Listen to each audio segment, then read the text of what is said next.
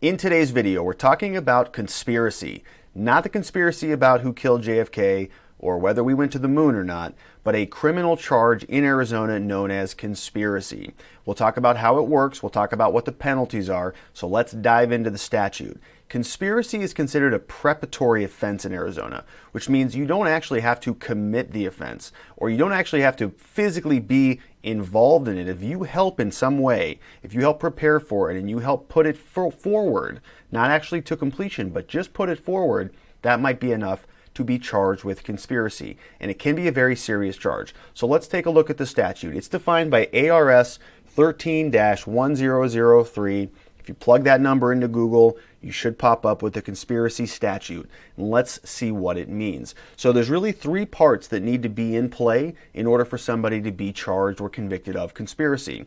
The first part of it is that a person who is charged with a conspiracy has to have shown an intent to promote or aid in the commission of the offense. So they need to be intentionally promoting it or intention, intentionally aiding in, in furthering the commission of the offense. So if they don't have any intent to do it, if they do it haphazardly or they do it unknowingly or they have no idea that they're involved in it, that's not going to meet that element. They have to have the intent, they have to intentionally want to promote or aid in the, in the commission of the underlying offense.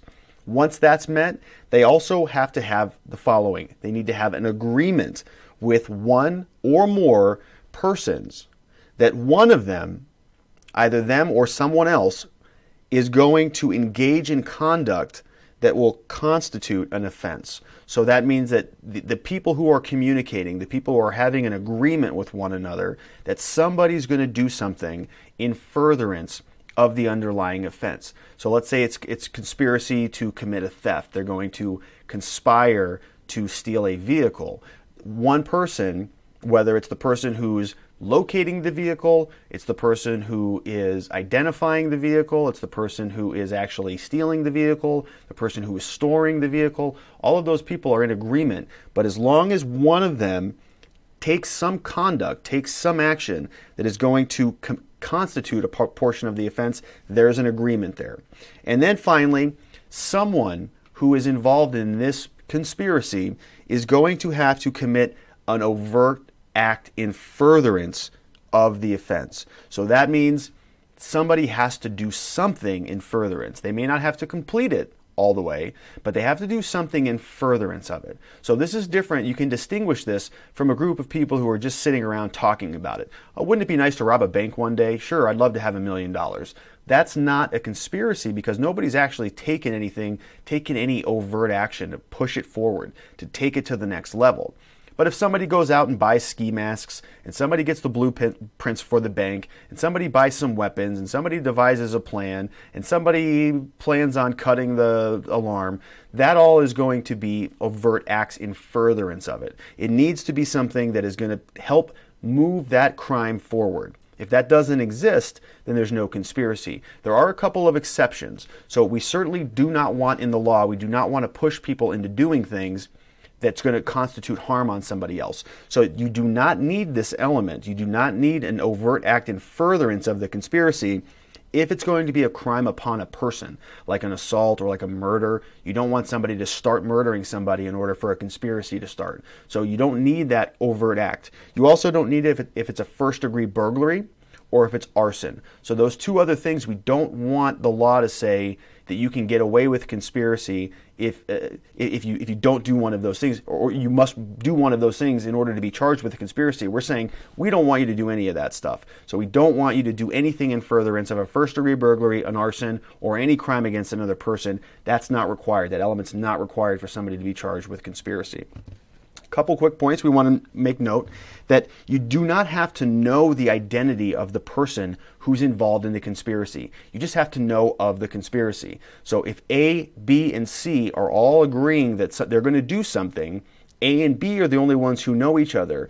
A doesn't know who C is, but A knows that there's probably somebody else involved or that there is somebody else involved and that C is going to go do something. A is now a party to that conspiracy, so is C. Just the fact that A and C have never met doesn't immunize them from the conspiracy. The other thing is that multiple offenses are all going to be part of the same conspiracy if they're related to the same underlying offenses. So a person's not going to be charged with 25 counts of conspiracy if they're all related to 25 things that are all centered around the same agreement. So if they're all going to rob the bank, they're not going to be charged with conspiracy to cut the alarm, conspiracy to uh, blindfold the, the teller, all of those things. It's all going to be one conspiracy about that generally underlying uh, agreement to commit that bank robbery. And then finally, it's important to know that conspiracy is going to be classified in terms of what level of offense it is based on the most serious charge from the underlying conspiracy. So in that case, it'd probably be, be armed robbery of a bank. Okay, if it was a murder, it's going to be the murder. It's not going to be the breaking and entering. It's not going to be the kidnapping portion of it. It's going to be the murder because that's the most serious part of that underlying agreement. So conspiracy is going to be a separate charge and it's going to rise to whatever the most serious classification is. The most serious charge that's in the whole batch of underlying charges, it's going to rise to that level. So conspiracy is very common. They'll tack it on to a lot of other charges, things like organized retail theft, uh, a lot of different theft charges, forgery charges, any laundering charges. They'll put a conspiracy on there because there's generally multiple people involved. Any offense that has multiple people is a ripe type of case for conspiracy if it involves all of these things.